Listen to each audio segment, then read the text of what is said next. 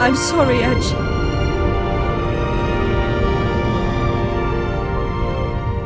It wasn't your fault, sister.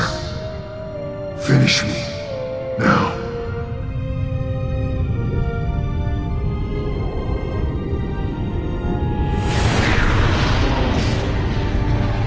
The pain is dissolving. And I go with it. In a few seconds, my memories will be returned to the people. Adieu, Nilin. Remember you soon.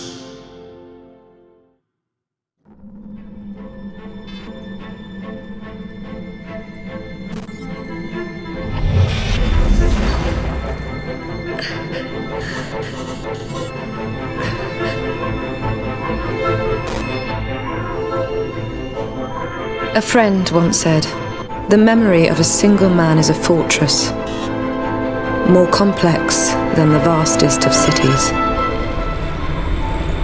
But we invented a key to the fortress. There are no secrets anymore. My friend's name was Edge.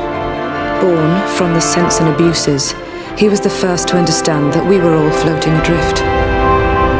Died to remind us that some intimate doors are not supposed to be opened, and that suffering, like painful memories, is just part of life. My name is Nilin Cartier Wells. I am a memory hunter. I can know everything about you, and I can make you believe whatever I want. This is my gift my legacy. For the first time in my life, I remember exactly who I am. Outside my fortress, I now have a family to go back to, and a world to confront. A damaged world. A world to heal. This is what my friend taught me before he disappeared. I'll never forget him.